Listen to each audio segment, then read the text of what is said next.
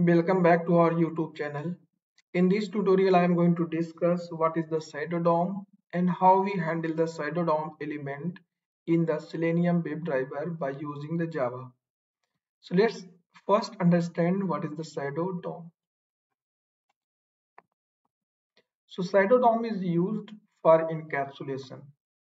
Okay, what encapsulation? This ensures that all the JavaScript and CSS written against this new DOM can be fully encapsulated.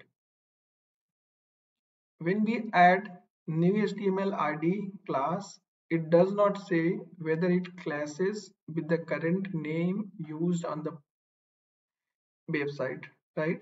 So Shadow DOM is one sections area by using Shadow DOM we can separate the HTML DOM with the main DOM object the shadow DOM allows the author of a component to build its own DOM which is separate from the regular DOM. Right? In this way, developers, authors, they are encapsulating the JavaScript as well as the CSS selectors, CSS. In this way, developers, author, they are encapsulating, separating their CSS selectors as well as the JavaScript by creating a shadow DOM because shadow DOM separate your DOM from the main DOM. This is kind of own DOM structure. The structure of the DOM is normally hidden from us. So structure we cannot see, but we can see it in the developer tools. When we inspect the element, there we can see. How the DOM structure looks like let's see. You can see here in the source code shadow root is mentioned here. Second shadow root right? One shadow root within another shadow root. So if this shadow root separate this section from the main DOM so any CSS selectors what is applied here it will not override our clashes from the main DOM CSS selectors. If this CSS ID and class like wrapper, shadow, content applied in the main DOM anywhere, it will not clash with this because this is a own DOM structure here. Okay, so this is the basic understanding of the shadow DOM. Now let's move and I will show how we handle this in the Selenium WebDriver because Selenium looks the element find the element only the element which is available in the main DOM structure right? But if this is separate DOM structures selenium directly not find the locators from this element. Yeah so here let me show you how we handle the shadow root element by using the selenium WebDriver here is the application where we can see shadow root element. From front end, from UI, we cannot understand this element is coming under the shadow root or not.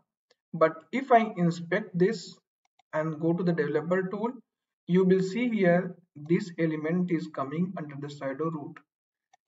This is one shadow root, this is another shadow root. So here we have multiple shadow root. So let's try first understand how we get the text from the shadow root right? So if I want to generally if I want to get the locators of this element so we can create like get the ID right of this element or directly we can use the ID of this element. Let me create CSS selector.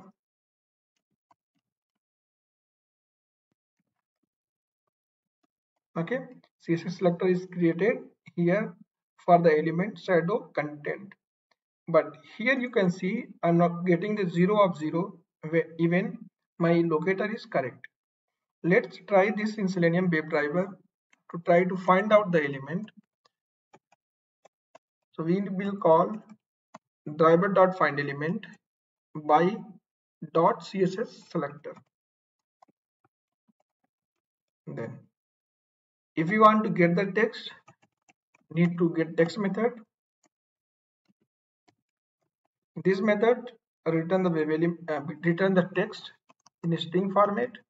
So I can store here. Let me print this text. Okay. Now test is created and added the code here. Now this get method will navigate the url of the shadow root element okay? Here i have added the implicit wait after that calling the driver dot find element to get the locators find out the locators. After that get the text method to read the text of the locator. So running the test now.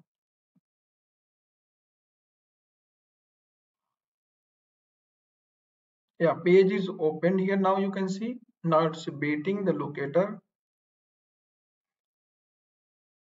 yeah now you can see here I am getting no such element unable to find the locator here. So selenium is not able to find the locator. Same when we inspect the element and use here in the developer tools we are not able to also find. Why we are not able to find here? Because as we discussed shadow root this is a separate DOM this is separate from the main DOM structure. That's why here we need to handle it different way. First of all we need to give, go into the shadow root like we are handling the frame as well as the window. So this is the frame uh, shadow root element id which is above the shadow root. So by using this id this element locators div locators we can get the shadow root object. So let's create one css selector. Yeah. Here just created locators of the element div element which is just above the shadow root right? So by using this element locator we can find the shadow root. Because the shadow root coming directly under this div copy the locator go to your code use call the driver dot find element by dot css selector pass the selector here. This method return WebElement object. So store in a WebElement okay. Now next step using this element we need to get shadow root which is available directly under this element. So get shadow root return the shadow root of it this method return search context object. Okay? So so that's why i stored in search context object. Now we are in this shadow root here. In this shadow root. Now by using the shadow root object search context object we can find the locator of the element which are available under this shadow root. So now we can use this context to find the locators shadow content right? Context dot find element by dot css selector get text. This return the text right? So now let me run and you will see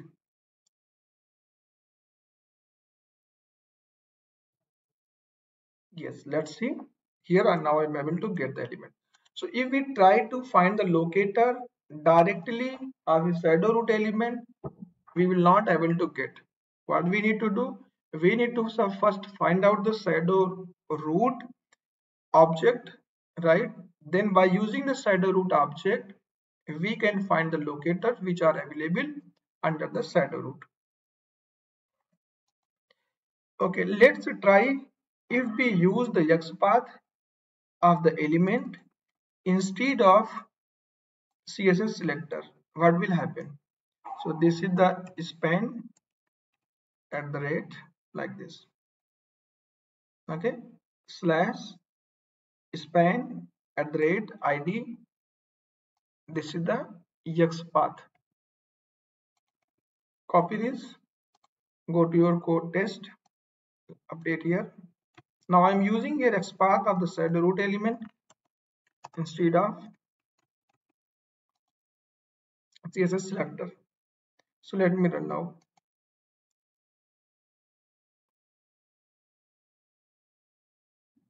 Yeah. You can see we are getting invalid locators okay? So if we want to try to find the locators find the element of a shadow root elements in that case if we are using XPath it will not work. We need to use the css selector. Only the css selector will parse the element which are available under the shadow root. Okay so now let's revert so let's now see how we will find out the element which are available under the and the shadow root means nested shadow root. So this shadow root is coming under the outer shadow root. So we have two shadow root. One is here and second is here. So this is the nested shadow root. So if we have nested shadow root how we find out the element? So first of all by using the shadow root object what we retrieve here context. By using this we can find out the element. We can find out the element of a shadow root inner shadow root. So this is the nested shadow root. We can use this id to find out the element of a nested shadow root okay. Copy this. Go to here. Okay. So again this will return the WebElement object.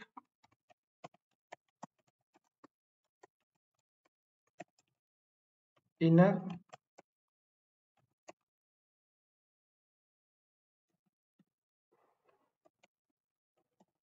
Shadow root. Okay.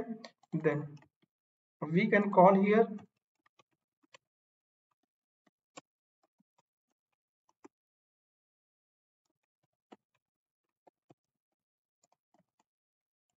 dot element of the inner shadow root dot get shadow root.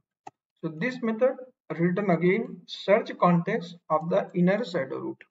Okay. You will get the inner shadow root object. Now by using this is the nested uh, element okay div.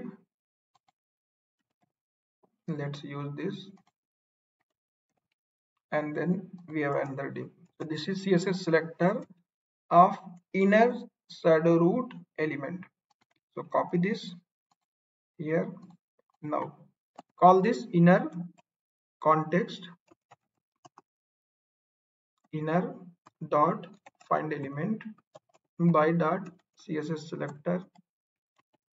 Pass this get text. This will return the inner text.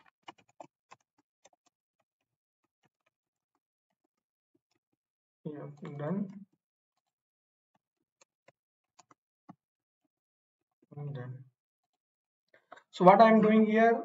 First of all capture here the outer shadow root by using the outer shadow root object. Search context object. I am calling the inner shadow root element. This is it will give us the inner shadow root WebElement object. Now using the WebElement object we can again call the get shadow root. This return the search context object for the inner shadow root. By using this object now we can find out the locators which is available under the inner search inner shadow root. Okay so let's run the code and you will see.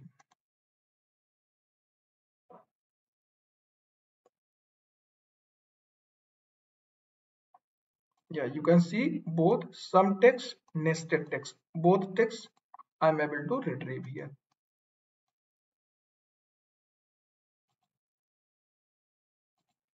Okay so by using this approach get shadow root method. We can find out the locators and we can handle the shadow root elements. Okay so let's see if we directly call the inner shadow root by using the driver object not using the outer shadow root object. What will happen? It will work or not